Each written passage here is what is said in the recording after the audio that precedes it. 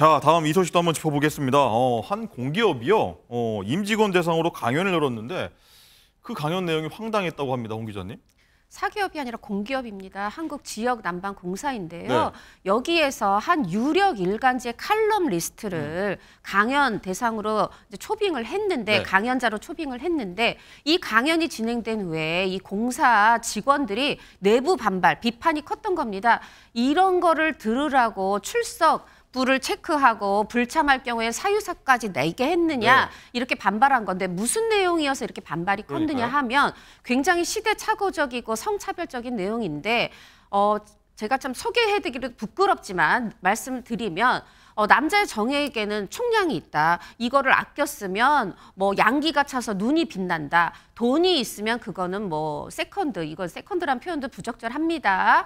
그 세컨드에게 써야 된다. 뭐 이렇게 또 얘기를 하기도 공기업 하고 강연에서 저런 말을 왜 합니까? 그럼 그러니까요. 그리고 뭐 내세를 믿어라, 귀신을 믿어라, 뭐 여러 가지 좀 납득하기 힘든 말하자면 모두가 대중이 함께 공감하기 힘든 그런 내용을 얘기한 겁니다. 이 분이 이제 컬럼리스트이자 뭐 민속학자여서 이런 내용을 얘기했는지 모르지만 네. 이것에 대해서 이 공사 측에서는 음. 아니 이런 내용 강의할 겁니다 하고 자료를 글로 된 자료를 보내줬는데 이런 내용이 없었다 오. 이렇게만 얘기하는데 이걸로는 부족하죠. 다른 강연에서 어땠는지 등등 해서 여러 채널로 이 강 이 사람의 어떤 성향이나 이런 것들에서 좀 더 검증했어야 한다 음. 이런 비판이 제기되고 있습니다. 자, 임재 변호사님, 이게 공기업 인문학 특강에서 나올 내용인가 싶은데 이 공기업 사과해야 될 것 같은데요, 어쨌든. 그렇죠. 사과문을 직원들한테 보냈다고 하는데 굉장히 아쉬운 대처라고밖에 평가할 수 없을 것 같습니다.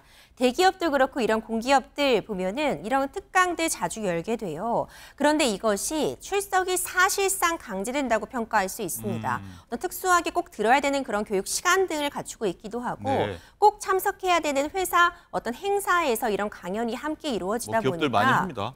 그렇죠. 그러니까 필수적으로 내가 앉아 있을 수밖- 있을 수밖에 없는 그런 강연이었는데 물론 이 강연의 기획 의도는 나쁘지 않았어요. 어떤 인문학에 대한 소양도 기르고 뭐 스트레스 관리랄까 여러 가지 이런 내용들을 담고 있었고 네, 인생을 바꾸는 여섯 가지 방법. 그렇죠. 그리고 강의안 같은 것도 사전에 당연히 받아서 담당자가 검토를 했을 거예요. 그렇기 때문에 강의안이 이제 프로젝터 화면 등을 통해서도 공개가 됐을 텐데 문제는 이 강사의 개인적인 성향이라던가 아니면 개인적인 생각을 강연 시간에 오프라인 공간에서 그냥 발표한 게 문제가 되고 있는 네. 거죠.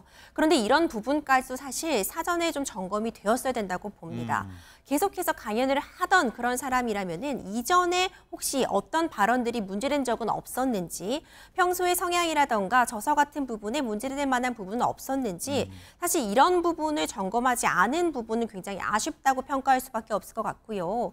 강연비도 350만 원 지불되었다고 지금 알려지고 있었, 아, 있거든요. 결코 적지 않은 금액이라고도 생각이 되는데 이런 부분 직원들은 사실 날벼락 같이 이런 이야기를 전달 들을 수밖에 없는 그러니까요. 부분이잖아요. 사과로 끝날 것이 아니라 재발 방지를 위해서 앞으로는 강사 섭외 이런 부분에 좀 더 만전을 기해야 될 것 같습니다. 네, 다른 기업들도 마찬가지 여기 좀 만전을 꼭 기해서 이런 일이 재발하지 않도록 해야 될 것 같아요.